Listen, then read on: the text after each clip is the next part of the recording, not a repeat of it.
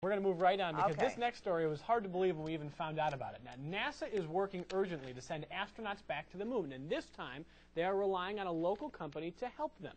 Torvec, a company based in Webster that designs car systems, is helping design a new moon rover, but it is a challenging task. We recently had an exclusive look inside to find out exactly how NASA even found a small company in Rochester to begin with.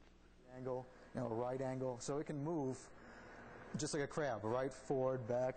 And so- It was just another day in November when Andy Gleasman got a surprising email, one he thought was probably a joke.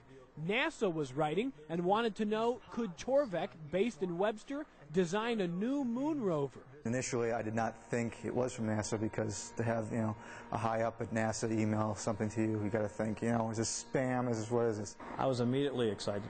I just wanted to make sure it was real.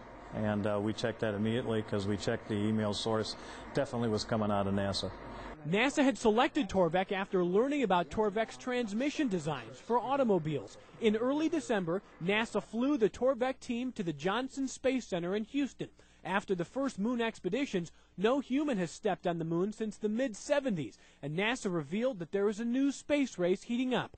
China and India are among the nations that want not just to go to the moon, but to build a permanent colony there. And NASA wants Torvec to help make sure the United States is first. You say, okay, will there be an opportunity in my lifetime to relive that great technological achievement I had in the 60s? And yes, now we have it. We have a brand new, uh, even more ambitious plan than we had in the 60s in a much shorter timeline to do it in. NASA told the Torvec team that they needed to have the first designs for the new moon rover done by mid February. In this famous video with astronaut Neil Armstrong, the old moon rovers were more like golf carts that couldn't go very far or very fast. NASA wants a new rover that can travel longer distances and run as fast as 12 miles an hour. The new rover would carry four person crews who would be exploring for water and minerals, among other things. For Gleasman and this small group, the pressure was on.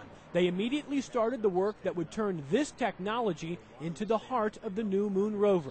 But NASA warned that Torvec would only get one shot. We cannot fail on this, and we, ca we, we have no fear of failing. Houston, you're go for landing, over.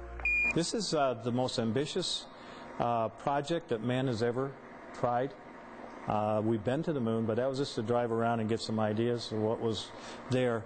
This project will be setting up a whole uh, unit of people, uh, a colonization, if you will, that is going to explore for water, minerals, uh, explore what it's going to take to live in, in space. Uh, and this is ongoing. Um, and a monsters project, and I'm so glad to be a part of it. Up, we're going to show you how the rover would work. Torvec's uh, designers gave us a demonstration before they shipped off their technology to NASA headquarters. That's coming up.